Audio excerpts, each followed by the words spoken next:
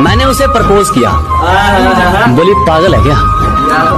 मैंने उसे प्रपोज किया, बोली, पागल है क्या? मैंने कहा, जो मर्ज़ी कह ले, तेरे कदमों के नीचे हूँ। और पागल तो मैं शुरू से हूँ। पहले पढ़ाई के पीछे था, अब तेरे पीछे हूँ।